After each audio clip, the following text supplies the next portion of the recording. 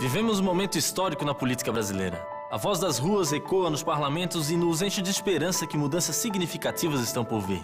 O jovem se mostra cada vez mais capacitado e pronto para assumir desafios na gestão pública. O Partido Progressista nos proporcionou esse espaço e hoje sou vereador em Biguaçu. Ajude-nos a construir um novo projeto, ético, eficiente e ousado, pregando o início de um novo ciclo. Felice ao Partido Progressista.